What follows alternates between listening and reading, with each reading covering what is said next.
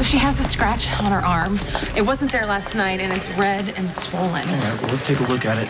Trauma one is free. Okay. Hey, will you wait? Yeah, I'll be right here.